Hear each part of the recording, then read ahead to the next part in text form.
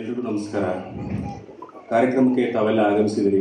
ಹಿರಿಯರು, ಗುರುಗಳು, ಮಕ್ಕಳು, ಶಿಕ್ಷಕರು, ಪೋಷಕರು ಮಾಧ್ಯಮ ಮಿತ್ರರು, ಮತ್ತು ಸ್ನೇಹಿತರು ಮತ್ತು ಹಿತೈಷಿಗಳು ಎಲ್ಲರೂ ಬಂದಿದ್ದೀರಿ. ತಮಗೆ ಇನ್ಸ್ಪೈರ್ ಫಿಲ್ಮ್ ಇನ್ಸ್ಟಿಟ್ಯೂಟ್ ವತಿಯಿಂದ ನಾನು ಹೃತ್ಪೂರ್ವಕ ಅಭಿನಂದನೆಗಳನ್ನು ಸಲ್ಲಿಸ್ತಾ ಆಲ್ರೆಡಿ ನೀವು ಒಂದು ವಿಡಿಯೋದಲ್ಲಿ ಈ ಸಂಸ್ಥೆಯ ಉದ್ದೇಶ ಮತ್ತು ಈ ಸಂಸ್ಥೆ ಹೇಗೆ ಸ್ಟಾರ್ಟ್ ಆಯಿತು ಅನ್ನೋದನ್ನು ನೋಡಿಬಿಟ್ಟಿದೆ ನಾನು ಹೆಚ್ಚು ಭಾಷಣವನ್ನು ಎಳೆಯೋದಿಲ್ಲ, ಯಾಕಂದರೆ ಗಣ್ಯಾತಿ ಗಣ್ಯರು ಬಂದಿದ್ದಾರೆ, ಅವರ ಮಾತುಗಳನ್ನು ಕೇಳೋದಕ್ಕೋಸ್ಕರ ನಾವೆಲ್ಲ ಇಲ್ಲಿ ಸೇರಿದ್ದೀವಿ. ಈ ಒಂದು ಸ್ಪರ್ಧೆಯ ಉದ್ದೇಶವನ್ನು ನಾನು ಕೆಲವು ಶಬ್ದಗಳಲ್ಲಿ ವಿವರಿಸಿ ಮುಗಿಸ್ತೇನೆ. ಈ ಕಾರ್ಯಕ್ರಮ ನಾವು ಸ್ಟಾರ್ಟ್ ಮಾಡೋದಕ್ಕೆ ನಾವೊಂದು ಚಲನಚಿತ್ರ ನಿರ್ಮಾಣ ಸಂಸ್ಥೆಯಾದರೂ ಕೂಡ ಮತ್ತು ತರಬೇತಿ ಸಂಸ್ಥೆ ಆದವಾಗ ಭಾಷೆಯ ಪ್ರಮುಖತ್ವ ಇಲ್ಲಿ ತುಂಬಾ ಇರುತ್ತೆ.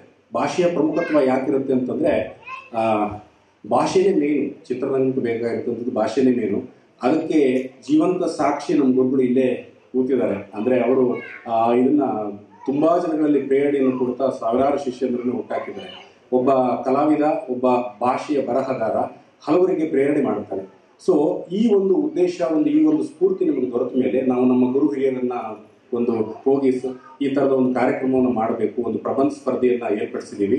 ಪ್ರಬಂಧ ಸ್ಪರ್ಧೆ ಯಾಕೆ ಏರ್ಪಡಿಸ್ತಿದೀವಿ ಅಂದ್ರೆ ಇಂದಿನ ದಿನಮಾನಗಳಲ್ಲಿ ಪ್ರಬಂಧ ಸ್ಪರ್ಧೆ, ಬರವಣಿಗೆ ಮತ್ತೆ ವಿಸ್ತೃತ ರೂಪದ ಒಂದು ಕಾರ್ಯಕ್ರಮಗಳು, ಏನು ಬರವಣಿಗೆ ಕಾರ್ಯಕ್ರಮಗಳು ಏನಿದಾವೆ, ಅವು ತುಂಬಾ ಕುಂಠಿತಗೊಳ್ತಿದ್ದಾವೆ ಅದು ಕನ್ನಡದಲ್ಲಿ. ನಾವು ಈ ಸ್ಪರ್ಧೆಯನ್ನು ನಡೆಸುವಾಗ ಇಂಗ್ಲಿಷ್ನಲ್ಲಿ ಬರೆಯೋಕ್ಕೆ ಸಾವಿರಾರು ವಿದ್ಯಾರ್ಥಿಗಳು ರೆಡಿ ಇದ್ರು.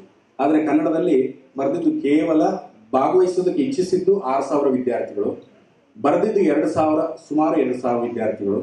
ಅದರಲ್ಲಿ ಆಡಿಯೋ ರೌಂಡಿಗೆ ಸೆಲೆಕ್ಟ್ ಆದವರು ಇನ್ನೂರು ವಿದ್ಯಾರ್ಥಿಗಳು ಮತ್ತೆ ವಿಡಿಯೋ ಸಂದರ್ಶನಕ್ಕೆ ಸೆಲೆಕ್ಟ್ ಆದವರು ಐವತ್ತು ವಿದ್ಯಾರ್ಥಿಗಳು ಮಾತ್ರ. ಈ ಟೋಟಲ್ ಪ್ರೋಸೆಸ್ ಹೇಗಿತ್ತು ಅಂತಂದರೆ ನಾವು ಮಕ್ಕಳಿಗೆ ಒಂದು ಉತ್ತರ ಪತ್ರಿಕೆಯನ್ನು ಅವರ ಕಂಫರ್ಟ್ ಝೋನ್ ಅಂತ ಏನಿರುತ್ತೆ ಆ ಮನೆ, ಆ ಮನೆಯ ಬಾಗಿಲಿಗೆ ನಾವು ಇಂಡಿಯನ್ ಪೋಸ್ಟ್ ಸಹಾಯದ ಮೂಲಕ ನಾವು ಅವರಿಗೆ ಕಳಿಸ್ಕೊಟ್ವಿ. ಯಾಕೆ ಇದರ ಉದ್ದೇಶ ಏನು ಅಂತಂದರೆ ಎಷ್ಟೋ ಮಕ್ಕಳು ವಿವಿಧ ಆರ್ಥಿಕ ಹಿನ್ನೆಲೆ, ಶೈಕ್ಷಣಿಕ ಹಿನ್ನೆಲೆ ಮತ್ತು ಧರ್ಮ ಆಧಾರಿತ ಜಾತಿ ಆಧಾರಿತ ಹಿನ್ನೆಲೆ, ಹಿನ್ನೆಲೆಯಿಂದ ಬಂದಿರೋದ್ರಿಂದ ಎಲ್ರಿಗೂ ಸಮಾನವಾದ ಒಂದು ಅಧ್ಯಯನ ಮಾಡೋದಕ್ಕೆ ಅವಕಾಶ ಸಿಕ್ಕಿರಲ್ಲ. ಎಷ್ಟೋ ಮಕ್ಕಳು ಎಕ್ಸಾಮ್ ಹಾಲಿಗೆ ಎಂಟ್ರ್ ಎಂಟ್ರ್ ಆಗ್ತಿದ್ದಾಗೇನೆ ತಮ್ಮ ಧೈರ್ಯವನ್ನು ಕಳ್ಕೊಂಡ್ಬಿಡ್ತಾರೆ. ಟೀಚರ್ ಮುಖ ನೋಡಿದ ತಕ್ಷಣ ಬೆವರ್ತು ಹೋಗ್- ಹೋಗ್ತಾರೆ. ಮನಸ್ಸಲ್ಲಿರೋದನ್ನ ಪೆನ್ನಿನ ಮೂಲಕ ಒಂದು ಪೇಪರ್ಗೆ ಇಳಿಸೋದಕ್ಕೆ ಆಗೋದೇ ಇಲ್ಲ. ಸೊ ಆ ಒಂದು ತೊಡಕನ್ನು ನಿವಾರಿಸೋದಕ್ಕೋಸ್ಕರ ಅವರ ಮನೆಯ ಬಾಗಿಲಿಗೆ, ಅವರ ಕಂಫರ್ಟ್ ಝೋನ್ಗೆ ಒಂದು ಪೇಪರ್ನ ಕಳಿಸಿ, ಉತ್ತರ ಪತ್ರಿಕೆಯನ್ನು ಕಳಿಸಿ, ನಿಮಗೆ ಅನಿಸಿದ್ದನ್ನು ನೀವು ಬರೀರಿ.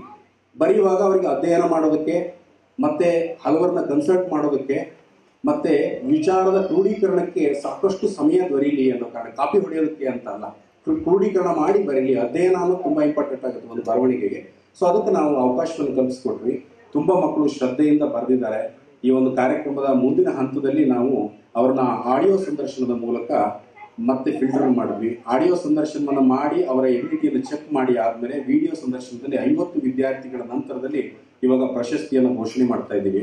ಈ ಒಂದು ಕಾರ್ಯಕ್ರಮ ನಮಗೆ ವೈಯಕ್ತಿಕವಾಗಿ ಮತ್ತು ನಮ್ಮ ಏನು ಸಂಸ್ಥೆ ಇದೆ, ಸಂಸ್ಥೆಯ ಎಲ್ಲ ವ್ಯವಸ್ಥಾಪಕರಾಗಿರ್ಬೋದು ಮತ್ತು ಸಿಬ್ಬಂದಿ ವರ್ಗದವರಾಗಿರ್ಬೋದು, ನಮ್ಮ ಅಂಚೆ ಡಿಪಾರ್ಟ್ಮೆಂಟ್ನವರಾಗಿರ್ಬೋದು ಮತ್ತು ಈ ಗುರು ಹಿರಿಯರು ಏನು ಇವತ್ತು ಬಂದಿದ್ದಾರೆ, ಇವರೆಲ್ಲರೂ ಕೂಡ ನಮಗೆ ಈ ಒಂದು ಸಜೆಷನ್ಗಳು ಮತ್ತು ಅವರ ಒಂದು ಇನ್ಪುಟ್ಗಳನ್ನು ಕೊಟ್ಟವರೇ.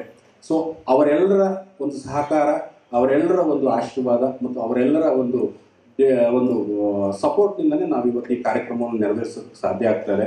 ಸೊ ಇಂಥದ್ದೊಂದು ಕಾರ್ಯಕ್ರಮಗಳು ಹೆಚ್ಚು ನಡೀಲಿ. ಅದಕ್ಕೆ ತಮ್ಮೆಲ್ಲರ ಸಹಕಾರ ಮತ್ತು ಈ ಥರದ ಒಂದು ಸಲಹೆ ಮುಂದೆ ಕೂಡ ಇರಲಿ ಅಂತ ತಮ್ಮೆಲ್ಲರೂ ನಾನು ಬೇಡ್ತಾ ಇಂಥ ಕಾರ್ಯಕ್ರಮವನ್ನು ಇವಾಗ ಸಭಾ ಕಾರ್ಯಕ್ರಮದತ್ತ ನಾವು ಮುಂದುವರಿಸ್ತೀವಿ.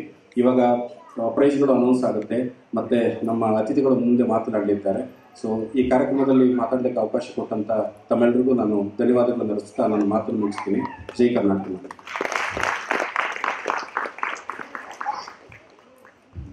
ಸಂಕ್ಷಿಪ್ತವಾಗಿ ಈ ಒಂದು ಸ್ಪರ್ಧೆ, ಈ ಒಂದು ಆಯೋಜನೆ ಹೇಗಾಯಿತು ಅನ್ನೋದ್ರ ಬಗ್ಗೆ ತಿಳಿಸ್ಕೊಟ್ಟಿರ್ತಕ್ಕಂತಹ Ravindranath B R I F I ನಿರ್ದೇಶಕರಾಗಿರ್ತಕ್ಕಂಥವ್ರಿಗೆ ಧನ್ಯವಾದಗಳನ್ನು ಹೇಳ್ತೇನೆ.